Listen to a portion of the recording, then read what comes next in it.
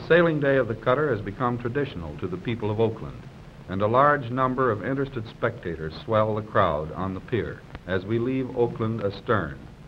Cross, we shape our course northward. The ship plunges into the long Pacific swells. Many rollers come aboard, washing the decks from stem to stern. After a short stop at Seattle to top off our fuel tanks and take on mail, our route takes us through Seymour Narrows, up the inside passage, which is bounded on the east by the mainland and on the west by the islands, to icy straits. And rounding Cape Spencer, we skirt the shores of the Gulf of Alaska to Kodiak Island. Then through Shelikof Straits and along the Alaskan Peninsula, the land of active volcanoes, to Unimak Pass, which takes us into the Bering Sea. Then to Unalaska, the first stop since leaving Seattle. The fueling station at Dutch Harbor is just about a mile from Unalaska. High wooded mountains rise steeply from the water, forming a deep, narrow gorge through which our ship passes. The spring weather has melted the snow at the base of the mountains, but the tops are still deeply covered, causing heavy clouds to hang about the peaks. The higher peaks can be seen above the clouds. These are typical scenes of the coasts of the Gulf of Alaska and the Alaskan Peninsula. The region contains numerous glaciers. The largest, Malaspina, is over a hundred miles long. The Alaskan Peninsula also contains a number of active volcanoes.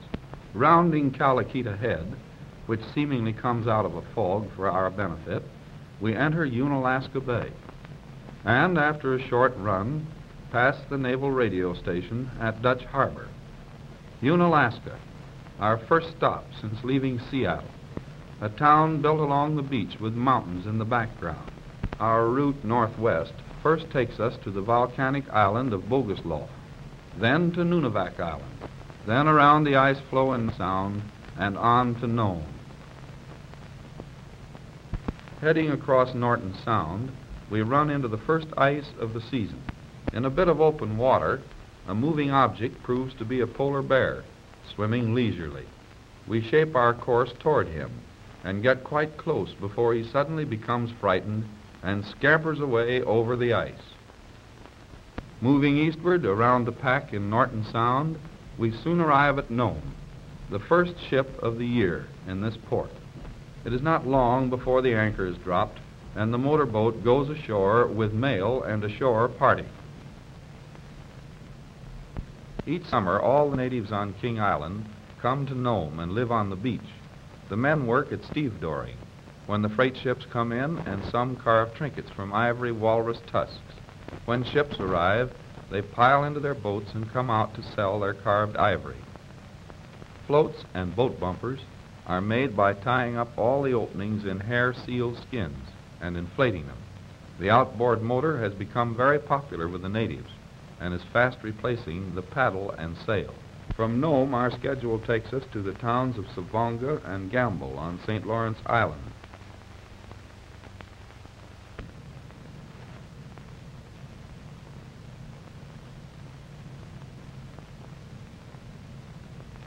The first mail since last October is taken ashore in our motorboat, which is made fast to the floe still attached to the shore. The mail and supplies for the teachers are landed and brought to the village by dog teams. It is quite an occasion when the cutter stops at the village. The natives of St. Lawrence Island are of Asiatic origin. Their ancestors emigrated from the vicinity of Indian Point in Siberia, which is about 40 miles from the island. The village of Gambell probably has more dogs per native than any other Alaskan Eskimo village. Each hunter and trapper has a team of five to seven dogs. There are frequently several hunters and trappers in each family. The hungry Eskimo dog will kill and eat any flesh, so the young dogs are tied close by and the pups kept inside the houses. At Port Clarence on June 28th, we find the steamer Baldwin stuck in the ice. An endeavor is made to open a passage through the ice to open water about two miles away. We force our way through most of the pack, but the wind and current jam the ice so tightly that the Northland gets stuck and can go no further. The ice piles up alongside the ship and almost comes on board. Ice, driven by current and wind, squeezes the ship with tremendous force. But the Northland, being built for such work, safely withstands the strain. The government school at White Mountain sends a boatload of children for medical and dental treatment. After they have been attended by the doctor and dentist, they pose for a picture on the quarterdeck. As we approach the Diomede Islands, whales are seen playing in the passage between Little and Big Diomede. Little Diomede is very precipitous and is covered with many large rocks. The trading schooner Elisif was crushed in the ice. Her crew made their way to Little Diomede, where they have awaited our arrival. The Northland is the only ship which calls regularly at these islands. After being greeted by the captain, the crew poses for the camera. A large freight barge broke away uh, during a storm from a steamer unloading at St. Michael's. After a search along the shores of Norton Sound, the barge is found smashed to splinters. The crew had gotten safely ashore. They are now on board. At Nome, preparations are made for the trip to Barrow. Barges piled high with mail, coal, and food for the government schools and radio stations of the far north come alongside, and the crew is kept busy day and night loading cargo. Today, the ship is more crowded than usual, for there is to be a wedding on board. The captain of the Northland performs the marriage ceremony, assisted by the missionary at Point Hope. At Wainwright, we go ashore and look over sanitary conditions and the general welfare of the natives. The doctor and dentist are kept busy, the only medical help experience. At Barrow, we drop anchor. The Northland stays at Barrow only long enough to discharge supplies and transact necessary business. A shift of the wind will cause the ice to close in on us and hold us fast until the pack moves or perhaps pushes the ship ashore. The doctor and dentist go ashore to assist the missionary, while members of the crew visit with the trader and renew old acquaintances among the natives. We are running out to the ice for a walrus hunt. A herd is sighted asleep on the ice.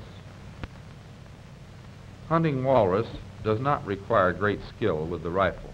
The principal thing is to get within 15 yards without disturbing them.